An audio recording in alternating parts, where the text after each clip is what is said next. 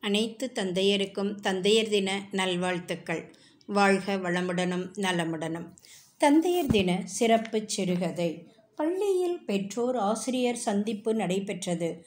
அரையாண்டு தேர்வு முடிந்திருக்க அதற்கான ரேங்க் கார்டை பெற்றோரிடம் கொடுத்து பிள்ளைகளின் கல்வி நிலையை ஆசிரியர்கள் விவரிக்கும் சந்திப்பு.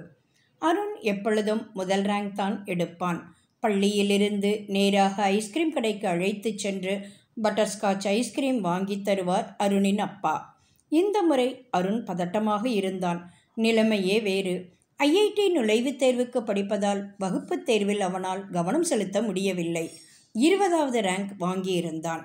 அருணின் ஆசிரியை அருணின் அப்பாவிடம் அருண் முன்ன மாதிரி இல்லை. அவனுக்கு படிப்பிலே ஆர்வம் குறைஞ்சிடுச்சு. எப்பவும் முதல் ரேங்க் வாங்குற பையன் இப்போ இருபதாவது ரேங்க்.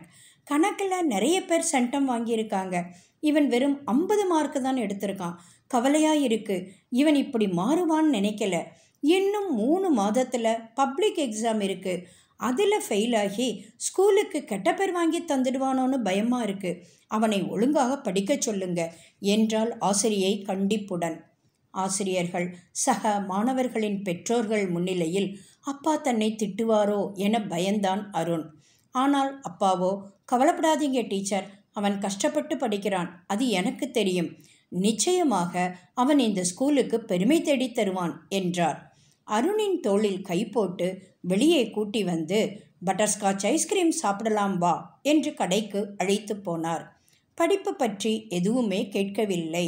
ஐஸ்கிரீம் சாப்பிட்டபோது அருணின் கண்களில் ஒரு துளி கண்ணீர் எட்டி பார்த்தது. முன்பை விட வெறியோடு படித்தான்.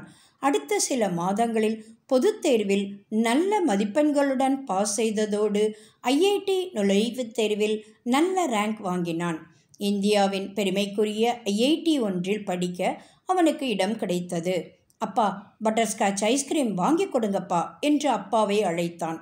இம்முறை ஐஸ்கிரீம் சாப்பிடும் பொழுது அப்பாவின் கண்களில் ஆனந்த கண்ணீர் ஒரு துளி பொங்கியது. கண்டிப்பு காட்டி வளர்த்தால்தான் பிள்ளைகள் ஒழுங்காக இருப்பார்கள் என்ற நினைப்பு பல அப்பாக்களுக்கு. அடியாத மாடு பணியாது என்று பழமொழி சொல்லி இப்படி தண்டிப்பதை நியாயப்படுத்துவார்கள்.